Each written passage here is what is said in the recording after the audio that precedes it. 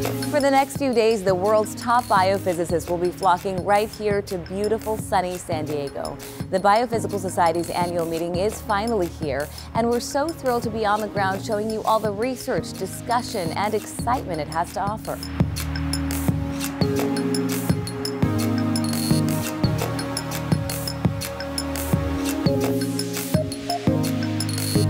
Hello, I'm Lamore Abrams, your host of BPS TV. It's the only place to get all the highlights from this year's BPS meeting. Today we'll be talking to Gail Robertson about her year as president of BPS. Then Ben Schuler will break down his research on intrinsically disordered proteins. Philip Nelson will share information about his undergraduate course in modeling and simulation. And finally, Nikhil Malvankar will tell us all about protein nanowires. We'll also visit top institutions from around the world to hear all about their incredible research. But first, let's hear from two of our meeting chairs to see what they're most excited about at this year's conference. It's exciting to see this conference come together after two years of hard work. Um, it's not just the work from us, but it's a collaborative effort from uh, the programming committee, the council, and the membership. This would not have been possible without the help that we received from the program committee, the input that we received from the community at large, and I, this program represents the best of biophysics and in many sense we feel privileged to be able to contribute meaningfully to the society.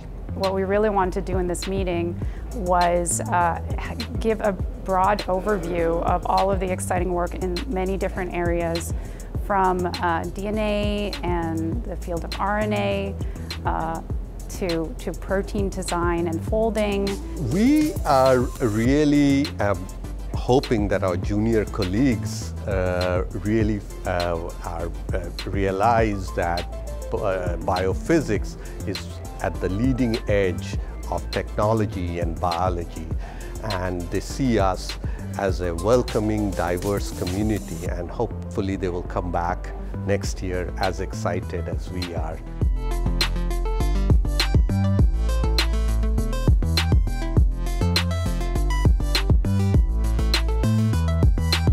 Scientists think of cellular membranes as a two-dimensional liquid with membrane proteins as icebergs floating in this liquid. This is referred to as the fluid mosaic model. The symposium, 50 years after the fluid mosaic model, will highlight emerging ideas on how lipid membranes and membrane-associated proteins interact dynamically and how they self-assemble in heterogeneous mixtures. In the symposium on protein fold, we will hear from experts who have been at the forefront of developing AlphaFold the revolutionary new protein prediction software. Other experts in this symposium will highlight uh, will provide a glimpse of the future of protein structure prediction. Over the past 15 years, optogenetics as a field has grown dramatically. In this symposium, we will hear from experts who are taking the field to new directions. These include identification of new types of optogenetic probes, including development of neural probes that are stimulated by sound waves instead of light. The new and notable symposium will feature exciting new discoveries across a wide range of biophysical research, including cryo-EM analysis of activated cold sensing channels, membrane shaping by integral membrane proteins, and electrically conductive protein nanowires. Here now with Professor Gail Robertson, BPS President. Thank you so much for joining us. Happy to be here. How did you become involved with BPS and how did it change your experience as a woman in science? Well, it actually formed my experience as a woman in science because I, I think my first visit to, my first um, time at a BPS meeting was as an undergraduate. And so really, as I was becoming a scientist, and even before you could really call me a scientist, I came to this meeting. And it was a, I think it was a transformative event that first year and the years after. I've been coming almost every year. Wow, very experienced here. what are some of your proudest accomplishments from your year as president?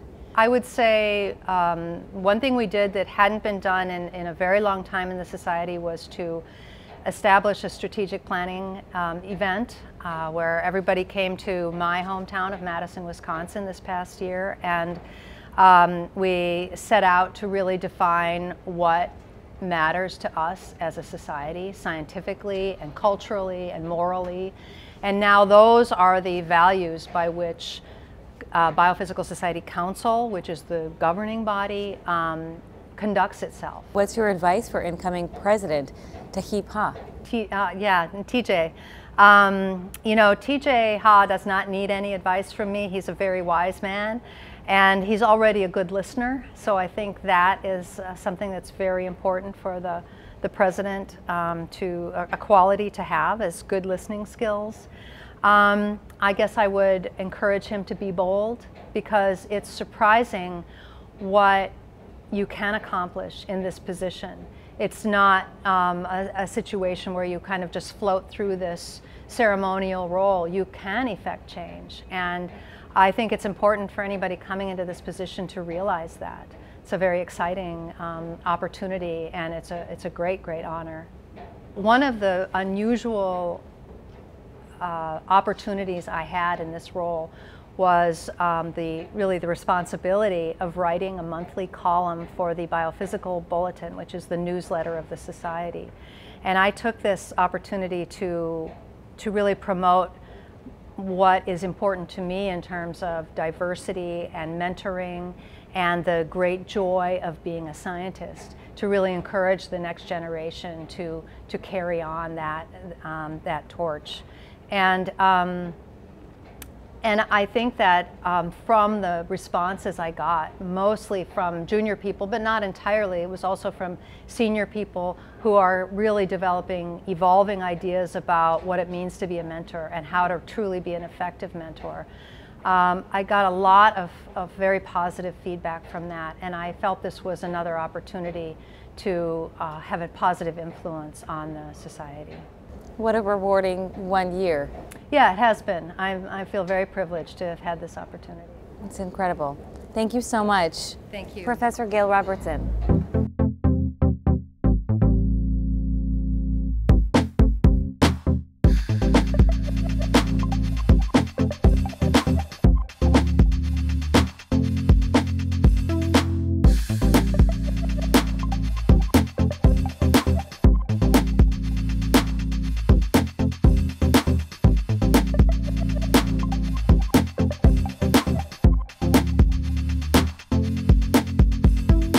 Let's head to Stanford's SLAC Cryo-EM Center, funded by the National Institutes of Health. The center is a research, training, and dissemination resource for cryogenic electron microscopy.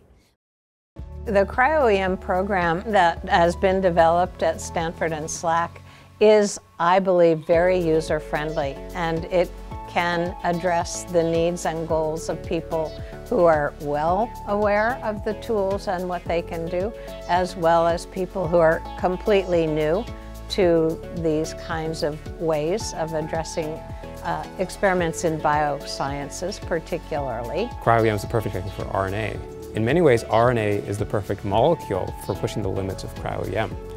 And so, uh, again, through our work here at S2C2, are uh, we've set records for the smallest molecules that you can image through cryo-EM, and we're now working on ways to try to resolve the motions of, of molecules in a way that just goes well beyond what's been done before. The approach to developing this program was very much because we felt there was a unique opportunity for SLAC and Stanford to work together. By looking at cells in three dimensions, the research team at the National Institute of Biomedical Imaging and Bioengineering Section for Cellular and Supramolecular Structure and Function is uncovering new details about the inner workings of cells that were previously impossible to see.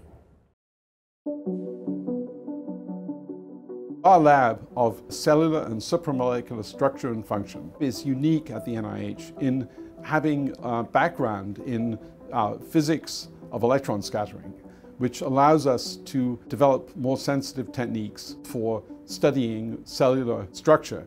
We have a variety of instruments, all based on electron microscopy and focused electron probes. One of the projects that I've been working on recently and sort of completed recently is uh, the project on erythropoiesis. And the question was, as the cells develop from the stem cell, towards the red blood cell. What happens in between in terms of the iron accumulation? And basically, it was just a beautiful study of structure function relationship, which you need to do in three dimensions because you can't tell what happens in 2D.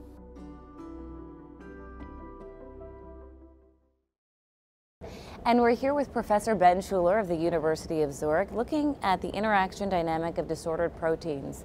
Thank you so much for joining us this morning Thank on you. the very first day of the conference. We're going to take a quick look at your research, um, focusing on molecular mechanisms of disordered protein interactions. How do these interactions differ from a textbook understanding of folded proteins?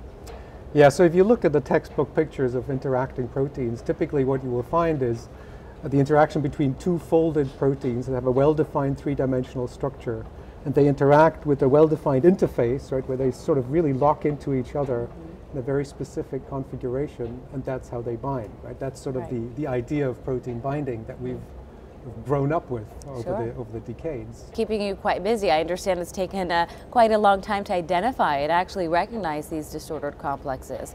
What misconceptions in the field have led to this?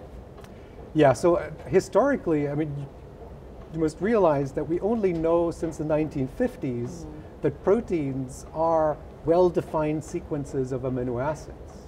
Um, and shortly after, it became clear that you can crystallize some proteins, right? And X-ray crystallography has been the dominant technique the second half of the 20th century, and it's been an enormous success story.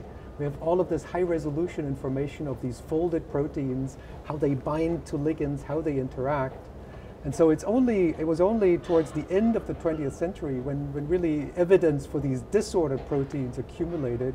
And then um, genome sequencing at the turn of the millennium really enabled the discovery that there's so many disordered proteins in our proteomes, right? In your and my pro- human proteomes, about a third of the of the protein sequences are disordered.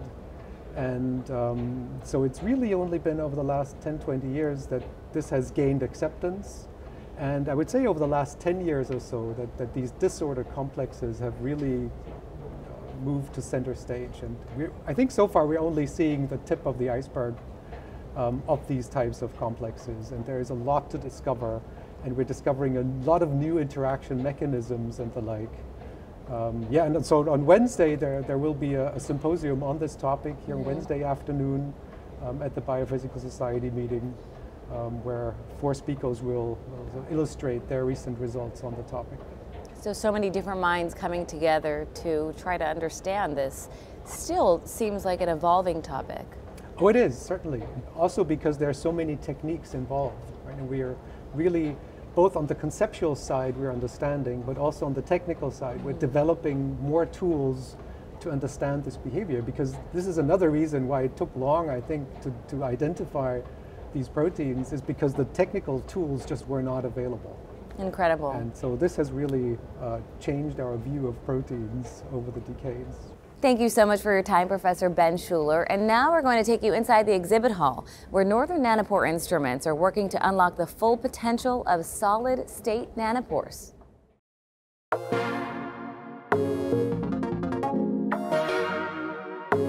So solid state nanopores are uh, tiny holes in thin membranes similar in size to a molecule of uh, protein or DNA. And the idea is that we run ionic current through the pore and whenever one of these biomolecules passes through the pore, it blocks some of that current. And from the shape of that blockage, we can infer something about the molecule, size, charge, shape, uh, sequence, or molecular identity. These nanopores have been uh, promising disruptions to things like DNA sequencing, proteomics, even the next generation of digital information storage, drug discovery uh, for a long time now. But until recently, they were stuck in research labs because the methods used to fabricate them didn't scale. Um, they were uh, expensive, slow, and manual. Recently, at the University of Ottawa, the Northern Nanopore team invented a method to fabricate these things, which we've called controlled breakdown, that is essentially a, a static shock at the nanoscale that we can use to controllably and very precisely fabricate these, these solid-state pores for molecular sensing. Um, and we've uh, packaged that into an instrumentation package that we're now selling to researchers all over the world. So we have a suite of software offering. The first one is the fabrication software that allows us to fabricate a nanopore to a specific size and uh, doing quality control at the same time. And it's all automated.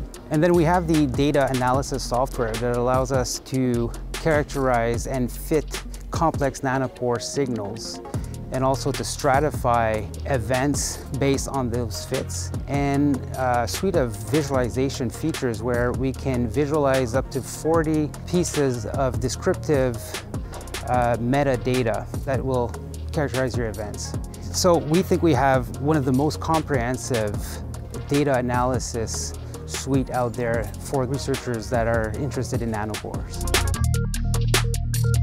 So our clients are a diverse mix of academic and industrial researchers. What sets us apart as an instrumentation company is that all of our tools are completely application agnostic. We provide researchers the means to make precisely the pores they need for their specific application without restricting what they do with them. And because we've worked with all of these systems ourselves as a team, we've been working with solid state nanopores for almost 10 years at this point, we're able to engage with our customers and assist with any uh, elements and any downstream applications of these, uh, of these sensors.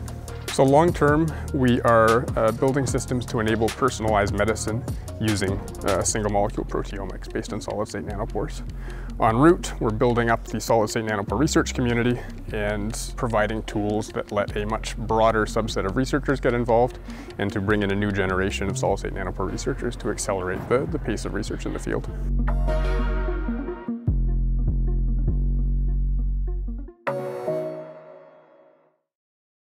Thank you so much, Philip Nelson, for joining us virtually. Yeah, well, thank you very much, Lamar. It's great to be here. I'd like to know what disciplines your students are coming from, those who take your class. Yeah, Lamar, I teach a class to a room full of uh, undergraduate students who are in their second year and higher, and they come from a lot of different majors. They come from biochemistry, uh, bioengineering, other engineering departments, biophysics, because we have such a major. They come from a lot of different majors, but they all want to learn something about modeling. And uh, they're all not afraid of being a little bit quantitative because we have a lot of students who are not afraid of that. And why is it so important for students to learn about modeling and simulation early in their careers? I think it's very important for people to study a little bit of modeling and simulation as early as possible in their careers. First of all, there's data visualization. Everybody's going to need that no matter what they do in the technical world. And it's not something that you get when you take computer science 101. We can't just tell them, take computer science 101. Also, I think Every paper I read has some modeling and simulation. Even if it's in the supplementary information, that paper could not get published without it, and my students realize that and they know that they need those sorts of skills. Uh, I think modeling and simulation is very good for developing uh, intuition and for developing an insight into what questions should be asked and what experiment needs to be done. Now, are students with little computer experience still able to excel in your class? Every time I teach my class on the first day, I ask them to self report on their computing skills and uh, how much coding they've done, and about half the class says zero. Yes, they are able to excel. We bring them up to speed. We have found that uh, Python is a language that they can get up to speed pretty quickly, and uh, we can just add a little bit every week. And to them, it's so much more exciting than just taking a computer science course where everything is done in the abstract. It's good to know how to make a graph. It's better to know how to make an animated graph because animated graphs have a plot line, they tell a story. And uh, as you can see in the animation that I'm showing right here, I personally never really understood adaptation in bacterial chemotaxis until I made this little simulation and turned it into an animation and watched the storyline. Then I can see the level of activation of the receptors. It's shown here in color. It's converging on some universal value whenever the level of chemoattractant is being held constant, that you get that rainbow color that you see in the graph. Uh, only when the level of chemoattractant jumps do you get a big change in the activation. How is that possible? Well, you can also see that in the graph as the bars move back and forth. That's the level of methylation. So by presenting more than one thing at a time in a time series, uh, that enters your brain in a very different way than reading a lot of words on the page, and students find that very powerful. And thank you so much for joining us, Philip Nelson. Now to Germany, to the Center of Structural Biology. CSSB brings together three universities and six research institutes with one goal in mind, understanding the molecular mechanisms of infections. The Center for Structural Systems Biology is a collaborative uh, research center and brings together world-class research institutes in the north of Germany. Particular expertise is in structural biology, infection biology, but also systems biology, so bring in computational tools that integrate uh, the various ends. We investigate the molecular mechanism of infections with the aim to understand the structure, dynamics and functions of pathogens and their interactions with the host. This fundamental research can also enable the identification of potential targets for interventions. So one of the molecular complexes that we worked on is a nuclear pore complex. And here we used artificial intelligence-based modeling to map the structure of the human nuclear pore complex at unprecedented completeness and um, precision. I expect the next big milestones to be in modeling dynamics of macromolecular assemblies and identify new targets for drug discovery.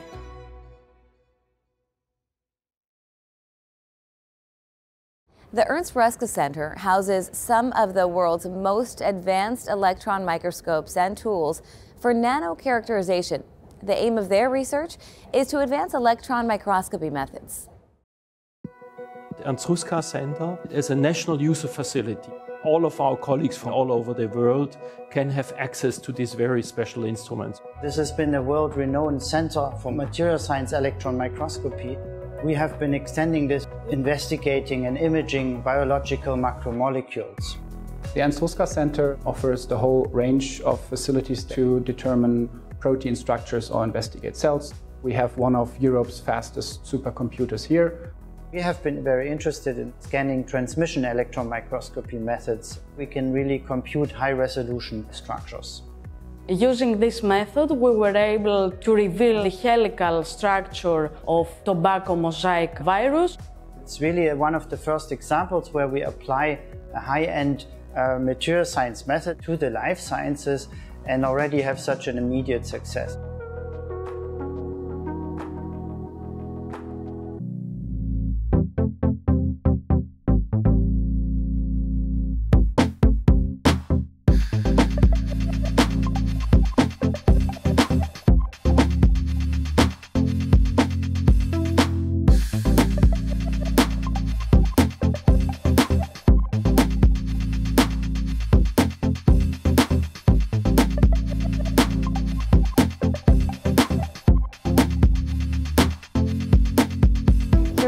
Professor Nikhil Malvankar of Yale, studying protein nanowires. Huge topic.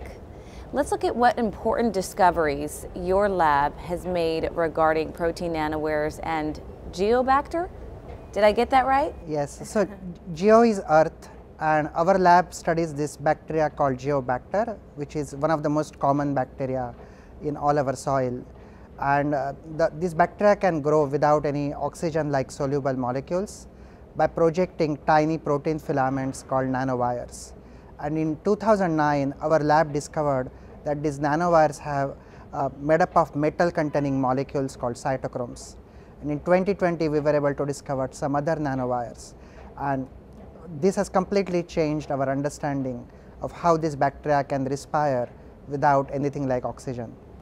That's incredible. That's pretty unusual too, I imagine yeah, it's, it's uh, really the mother nature has perfected billions of years of evolution so that they can use these nanowires as a snorkel to send electricity over 100 times the size of a bacteria. How did these discoveries lead to creating the first synthetic assembly of nanowires outside bacteria? So these nanowires are very difficult to study with Geobacter because it's, it's a challenging bacteria to grow in the lab. So um, recently um, our lab with uh, Yuri Londer was able to genetically engineer bacteria to express the protein which makes these nanowires by the work led by my student Yangqi Gu. And now we can make these nanowires both at large quantity and high purity without using geobacter. So we can figure out how bacteria can make these nanowires on demand. And these nanowires have a sugar binding domain which bacteria can remove and that assembles them into nanowires. What applications could we see from this?